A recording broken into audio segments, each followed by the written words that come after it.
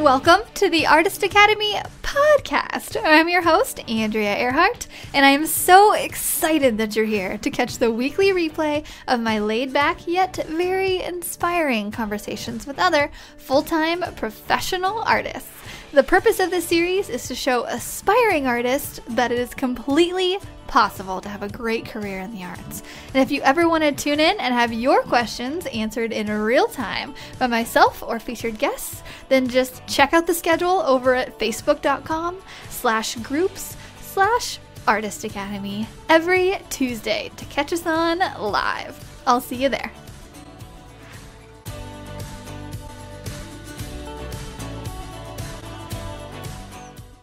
This episode is sponsored by the Artist Academy Advanced membership, a program for artists who want to uplevel their art game by taking it from a hobby or a side hustle to a full-time six-figure art business with weekly trainings that include step by step proven art business techniques, plus painting tutorials from yours truly and other guest artists who are masters in their field. You will be well equipped to learn and grow into the highly skilled and highly profitable artist you know you're meant to be. I've figured out what it takes to build my own six figure art business, and now my heart is set on teaching aspiring artists like you to do the same. It's not hard, but it does require your time and dedication. So, if you're up for the challenge, go to advancedmember.com. That's advancedmember.com to learn more. This week's episode features Brooklyn based muralist and sculptor Jenna Morello. I just got off this interview with her, and I just want to warn you that there is a little bit of language in this episode. Nothing too crazy, but if you have kids around, then maybe just stick to headphones. But language aside, Jenna is so cool. I felt myself becoming my own version of a little Brooklyn badass the longer we spoke, which it's just laughable if you know me. But we reference a lot of her sculptures and murals in this episode. So if you want a visual of exactly what we're talking about, then just click the link in the notes that will take you directly to her Instagram so you can see these wicked cool resin pours yourself. It's such a cool approach. She has roses and epoxy, and it's kind of hard to explain but you'll totally get it once you see her photos. It's such a unique approach. She's really found this style that is all her own. And this episode is a look into how to stick to your niche, like Jenna, how to embrace the suck in the beginning and just say yes to everything in order to build a portfolio and on the flip side of how it will eventually pay off. Jenna is a great example of that, and she gives such a tough love approach when it comes to giving advice to artists. And I am completely here for it. I think everybody needs to hear a little bit of tough love in their life. I was raised on that, my mother. and so I just I see the benefits of it so much and which is why I think that Jenna is such a breath of fresh air in this approach. It really is just nice to hear someone speak her mind unapologetically and give some really good advice from a perspective of someone who's been there, done that. so let me know what you think of this week's episode with Jenna Morello. So, if you could just start out by kind of telling everybody a little bit about who you are and where you're from and what you do. This is my first official live, actually. Um, I am Jenna Morello. I am a artist out of Brooklyn. I would say street artist, but now I'm inside doing all uh, inside stuff, and I just work and live out of Brooklyn. That's awesome. So, how did you get into the art world? Did you take the college route? Did you just start painting one day? Like, how did how did that happen? Um, yeah, so I mean, I've always been creative. I come from a creative family. My father's a graphic artist. My mother's a teacher, so it was always encouraged to be explored. But it was just one of those things from the start that I was drawn to. And then I just jumped around in mediums. I just always kind of like to make things.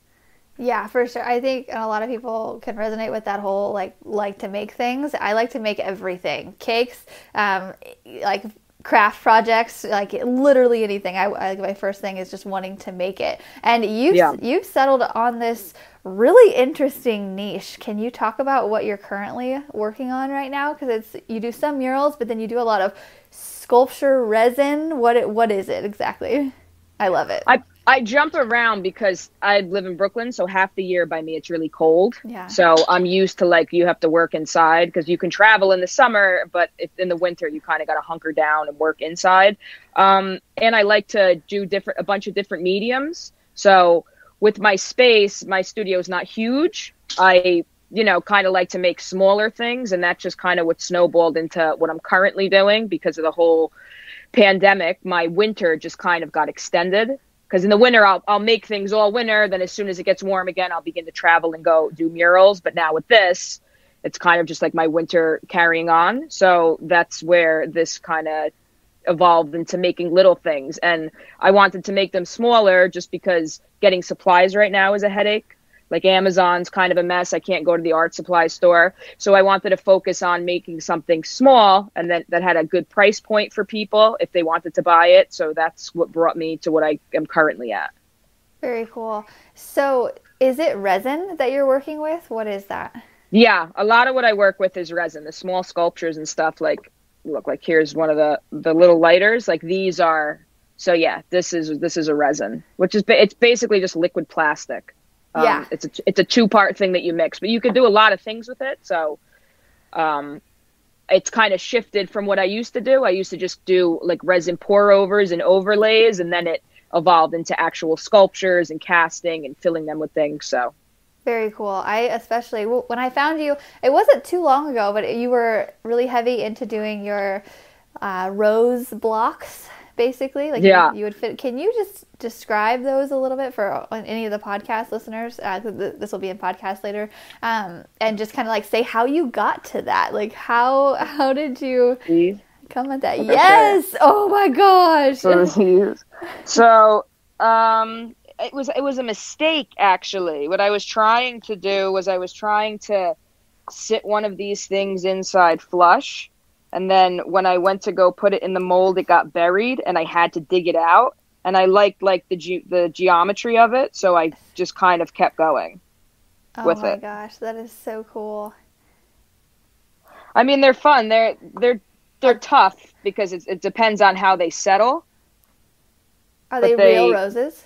Yeah. Yeah, they're all real roses. They were yeah, they were fresh and then altered and then put into all this other stuff. Very cool. So you you have the rose and then you paint the rose and then you resin around it?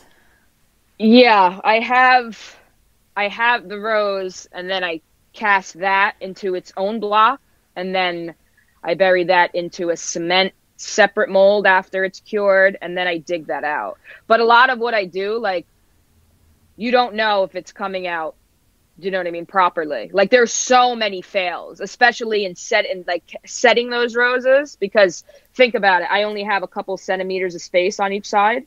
So cool. That's so cool though. You even the mess ups are kind of kind of cool in their own way. How many do you think fail? 50%? In the beginning? um may, maybe every one in four. But here's the thing. My fail and the general public's fail are very different. So i have friends that like would gladly take them but like it doesn't sit right within myself because i know it's a fail but that's why my mother has a lot of pieces that were fails, but she doesn't even know the difference or think they're fails. so I, I mean, a lot of my stuff because I'm working with natural elements and because resin's a chemical and it heats up, so you don't know necessarily how it's going to change something, and it might not even change it right away. I could cast something and then say there's a chemical reaction over time. It could turn later on. So I just kind of have to monitor and see like what what the duration of it is over a certain period of time even before I release it. Like I had a couple of those sitting before I released them just to see what they would look like after 2 weeks, 3 weeks, and then once I was confident that they were okay, then I released them. Oh, cool. So are, do you mean uh, do you have problems with like the resin yellowing or what do you mean?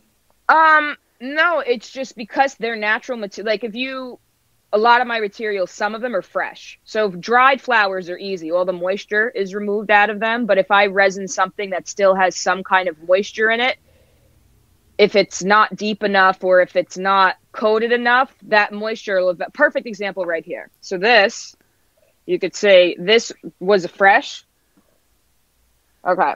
Okay. So you see, then the see that right there. So there was moisture in this, so it split because oh. this is done in layers. See, so there's a little bit of moisture in this, and because of it, it ended up splitting this. Okay, yeah. So, so you, you, you can see that. Yeah, you, and so you you, you basically have like an epoxy mold, and it and it just split like because of the moisture no this split no no no it did it after i had i had already resin this. So i resined this and then it was looked fine and then a couple days later what'll happen is then it'll split. So you don't really know like resin like concrete i think takes 28 days to fully harden. Resin isn't hardened for it fully hardened for at least a week or two.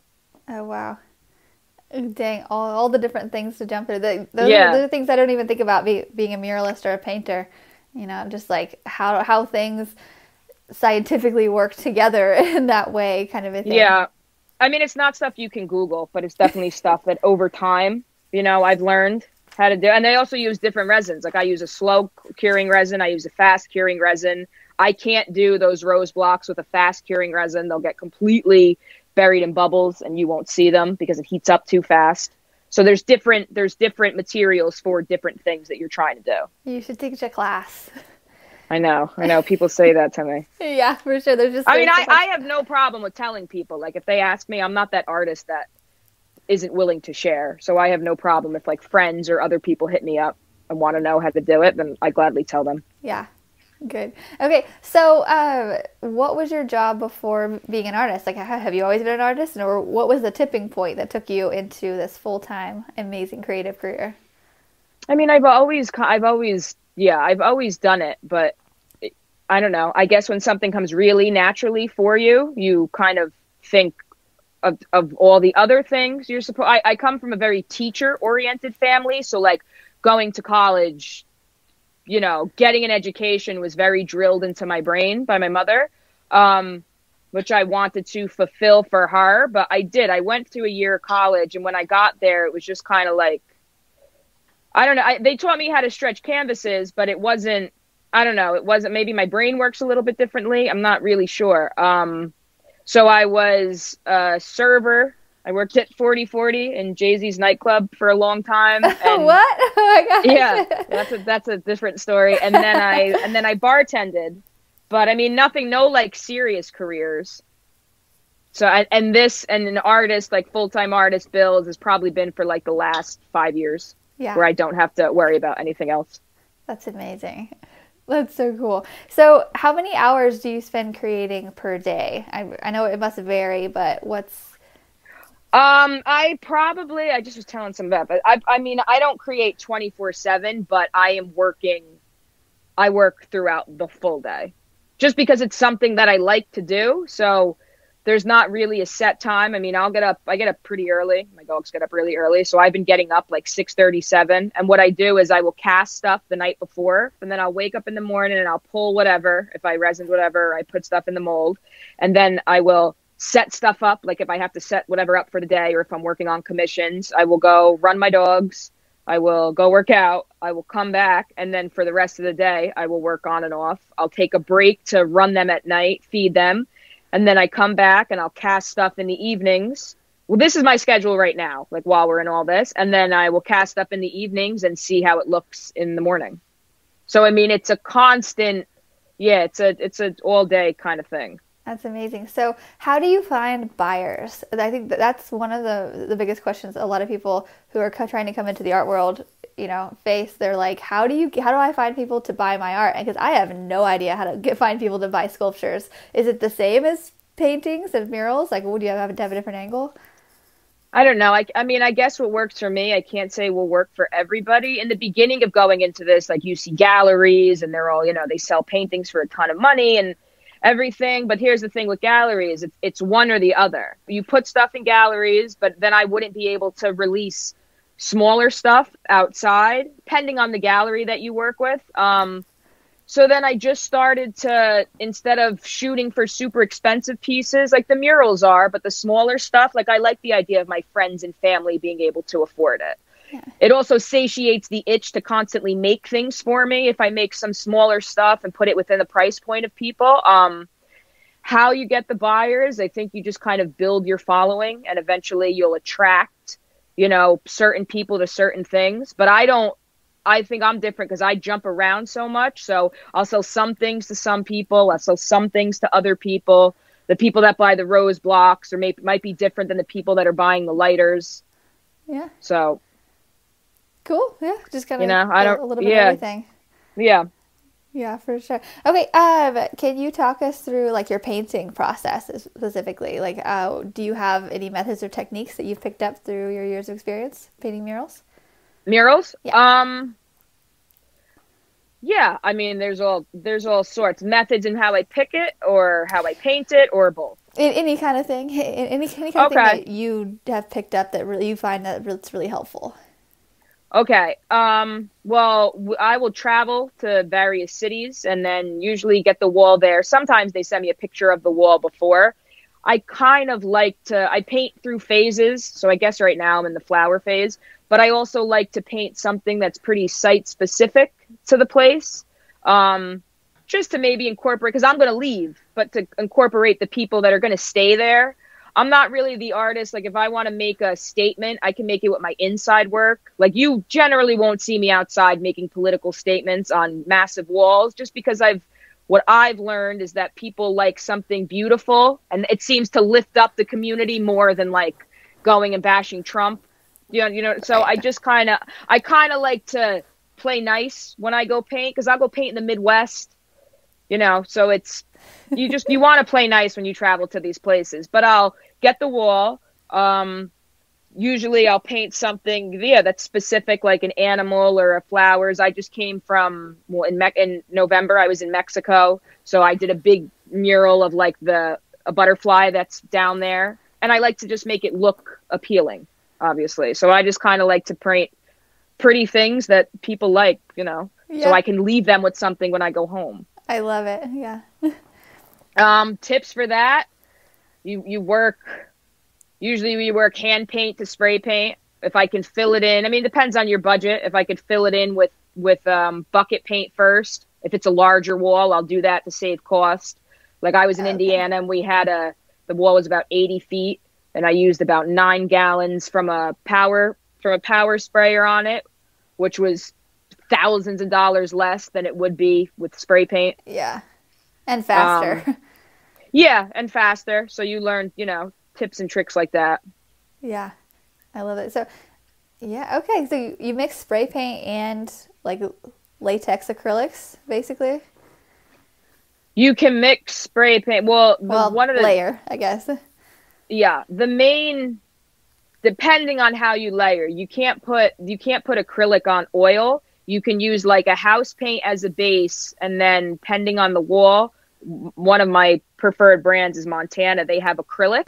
Oh yeah. So you can paint you can paint acrylic on acrylic. So you could put water and water on water and water on oil water and water on water, oil on oil, and you can put oil on water, but you can't put water on oil.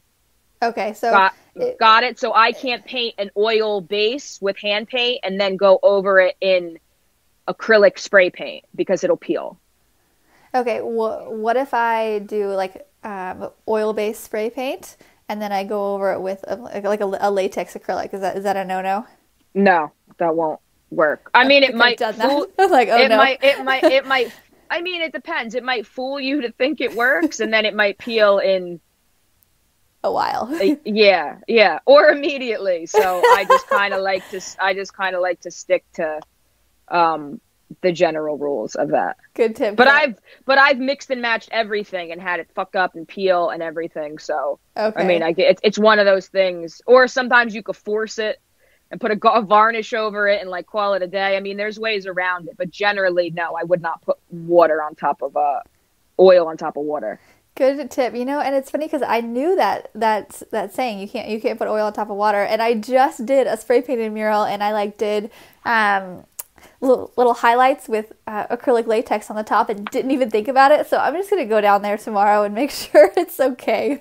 I mean, did they beat up while you were painting? no, it was well, it, it was on cement, so like the the, the spray Might be alright. the spray really soaked in, and so and I waited a day and it just did like little stuff on the top. So yeah, it might be all right, but it's actually I'm really glad you reminded me of that. I mean, you might be alright. If it's a porous surface like concrete, then you might be fine. For something I've learned the hard way, for something like, like if it's a sheet metal, it's not. It'll peel. okay. It'll come right off. Yeah. But I mean, if if you didn't see a problem with it, you might be fine. Okay. Well, let's hope. uh, Is there anything you don't like to paint without? Yeah. Uh, the little banana caps. They're my preferred choice of cap. Banana caps. Okay, fill me in. All right, universal cap. Universal. So these are my cap. these are my preferred. Um, but that that's because I paint kind of crosshatchy. I mean, I know people that blend that are big on blending and fading and all that. They'll use soft stuff, but my preferred perfect. Here's my preferred three caps. I use this one. Which is the banana cap or the universal cap? The yeah, the universal. This is the stock cap for most Montana black uh cans. Stock. which is like my medium fill-in cap, I guess. And then if I'm really like throwing paint, this is the the fat cap.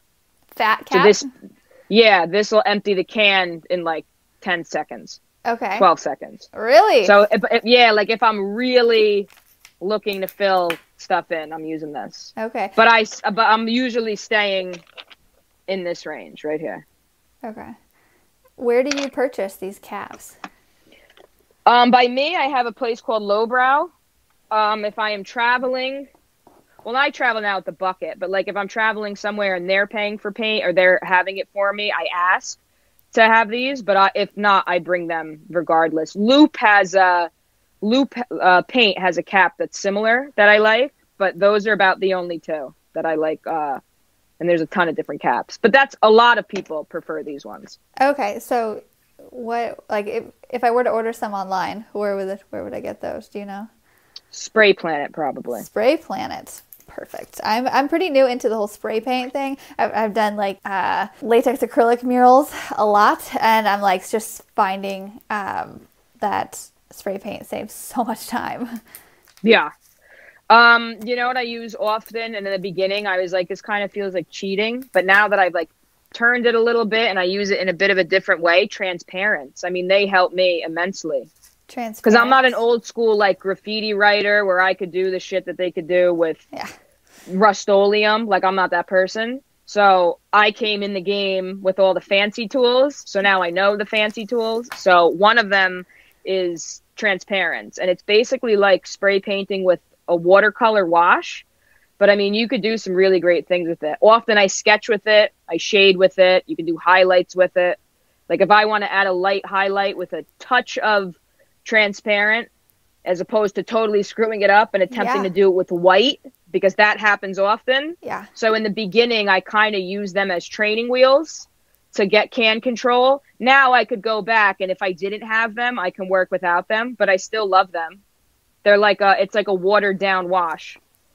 I am writing that down as well. Yeah, because I, I was just painting that, that mural and I was like, man, if I knew how to like do highlights with the spray can, I totally would because yeah, that white it just goes on there and just covers everything. There's no like Or- highlight.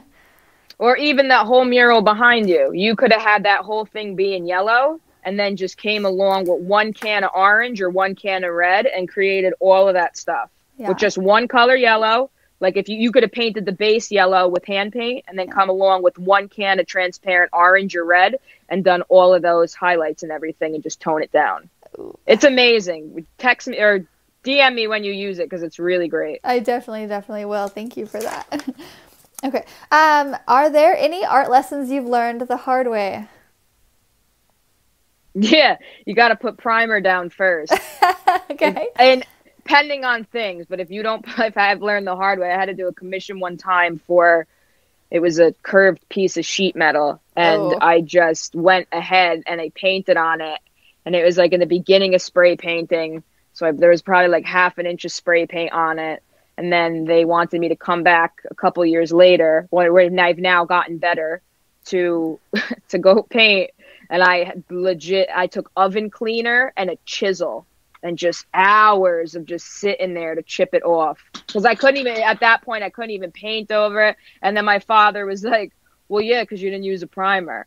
It was it was awful. It was it took like four or five hours of just like arc a lot like just digging with a with a chisel to get the stuff off. It was awful. So I'll never do that again. So prime your stuff of your services, if you intend on ever taking it off okay and and also just like maybe making it last longer too or um, I mean, this wasn't going anywhere. Okay. So this being, I mean, this not being primed, this stuff adhered to it like nobody's business. So, yeah. I mean, it, spray paint all depends on on the elements. Like even if you put a coating on them, if that stuff beats in the sun, like eventually it'll all lighten up or come up. Some brands are just more saturated in pigment than others. Yeah, for sure. I, I'm I'm loving your accent. By the way, it's so cool. very. Why do you think I do you think I have a thick accent? It's, it's very like Brooklyn, basically. Oh, thing. It's yeah. Cool. I did like the Jersey Brooklyn like loop, so it's probably a mix of both. Yeah, for sure. Uh, do you have a favorite past project?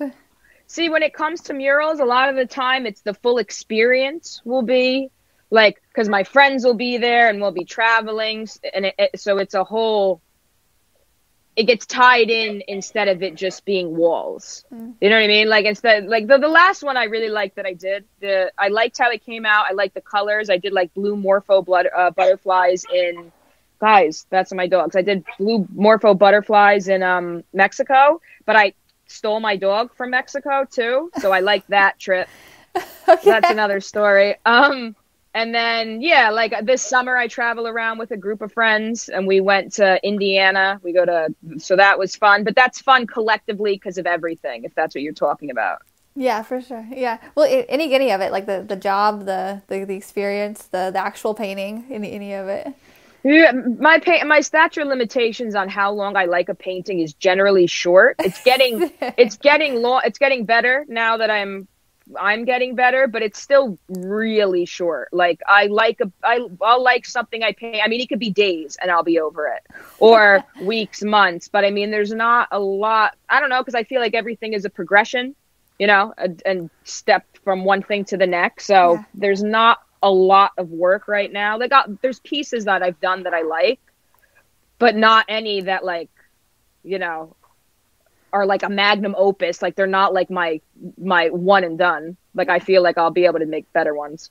Yeah, for sure. I, I think a lot of people can uh, resonate with that as well. Like, yeah, there are so many things that I'm like, people are like, oh, I love that. I'm like, I did that in college. Like, I I shouldn't even have that up. Like, why? Oh, you don't even know. My family loves to like hang up all the nonsense that I made when I was younger, and every time I'm like, take it down. My mother's like, replace it. But I'm like, you have like 15 pieces here. I'm like, I can't replace. I'm like, just get rid of it. If it was up to me, I would burn it. But there's so many people are like, you need to save this stuff. But I don't there's there's a limit. Like if it's the stuff I did when I was younger, I'm okay with it now. If it's the stuff I did in like that one year of college and whatever, I'm not far enough from it right now that I don't despise it.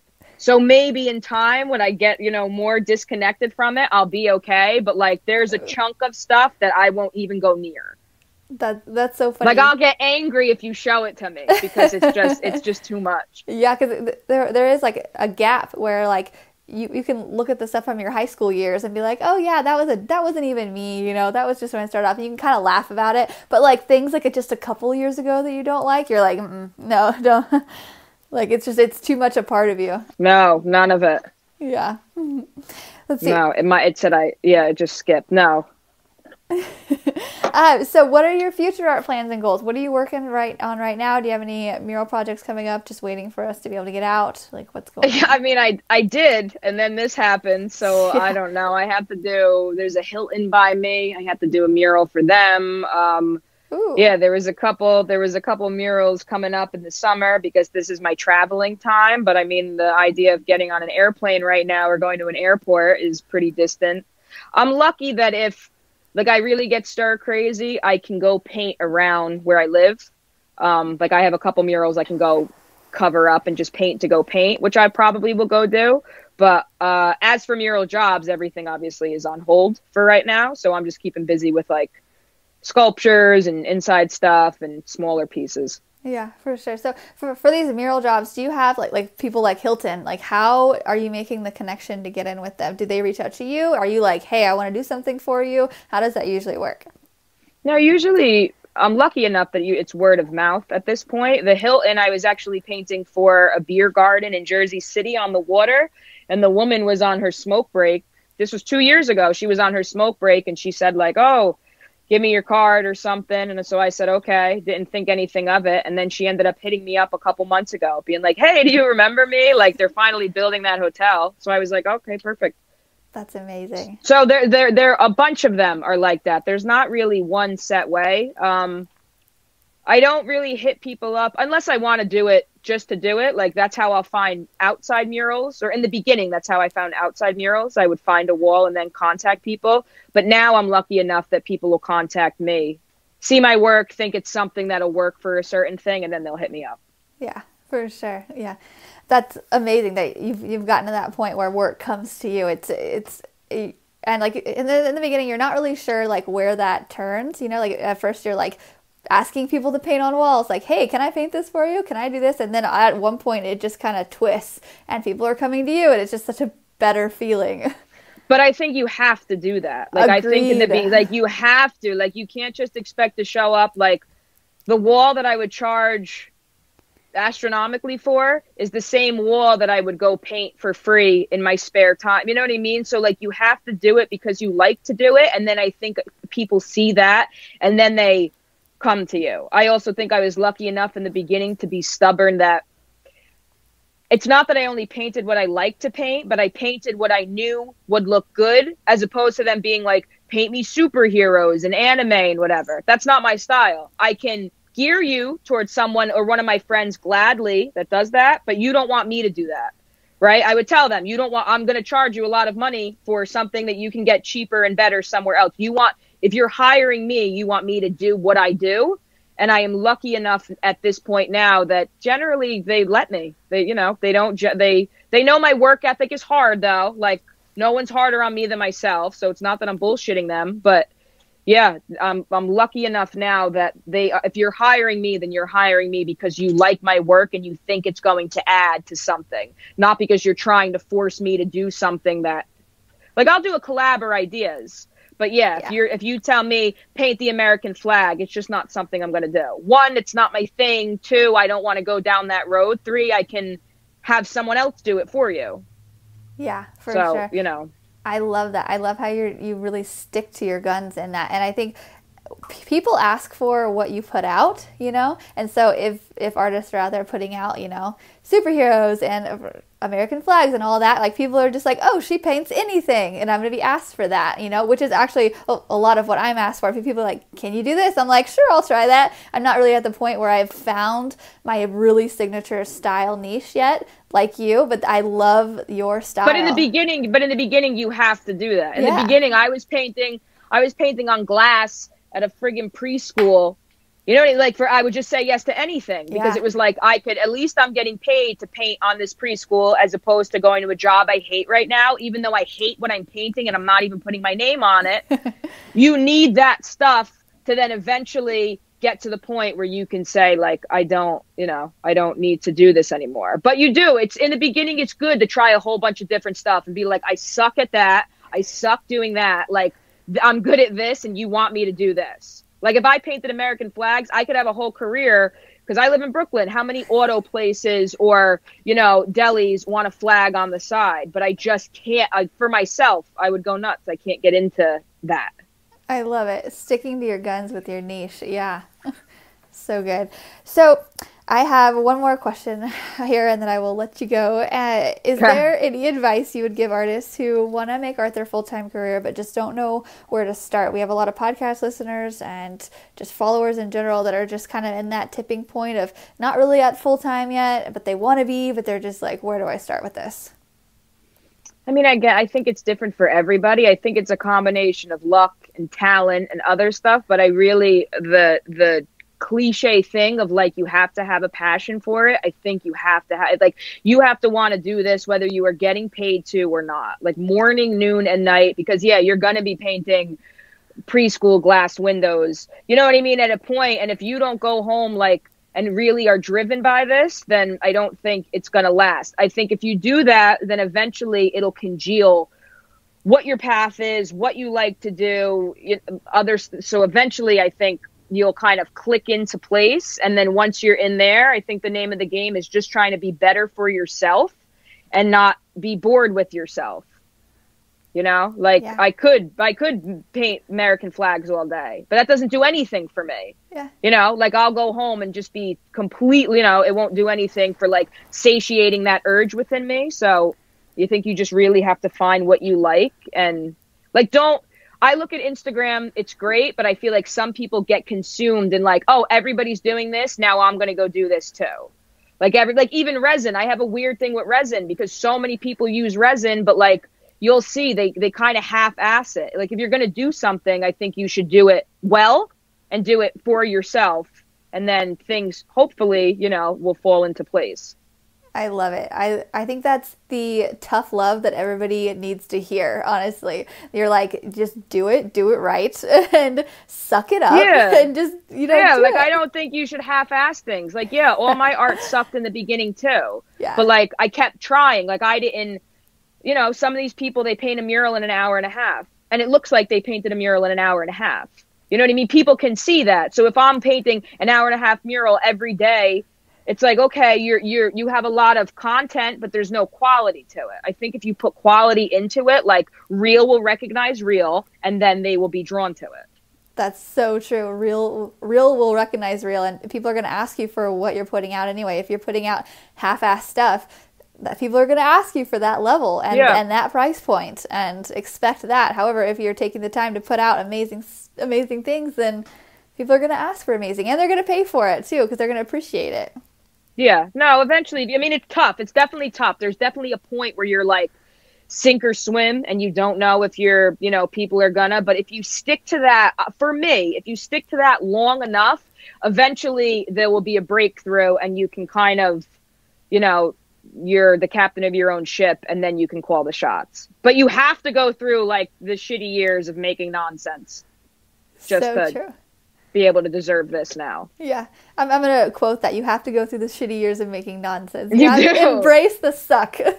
I have I have made some nonsense, I promise you. Me too, yeah. Uh, I used to do a lot of dog portraits and just hated it. And then finally I was like, okay, no more. like I just don't yeah. do it anymore. But I did yeah. it for a while because like doing, yeah. doing something is better than doing nothing. A hundred percent. That's and that's how I always used to look at it. It's it's it's better than me not doing it. So whatever part of this brain that it's keeping active right now, yeah, dog portraits, like yeah, oh, everything. Uh, even that that fucking awful job of of this daycare and then other daycares wanted it and painting on glass also meant when i had to turn it over i had to take it off. So i was blatantly spray painting on glass and then using oven cleaner which i'm sure is not the professional method to take it off. So i was just making every and i make up a i made up a whole lot of things too. But then eventually like uh, from a thousand mistakes i started to learn something. So it was all right. Yeah everything turns out all right anyway. Yeah for sure. Well, thank you so much. This is the mic drop point. I, I loved everything about, especially this last part. I think it's so inspirational and just the ah, the, the, the kick in the butt, the, the, the, kick in the butt that yeah. I think a lot of people need too. So yeah, just keep at that.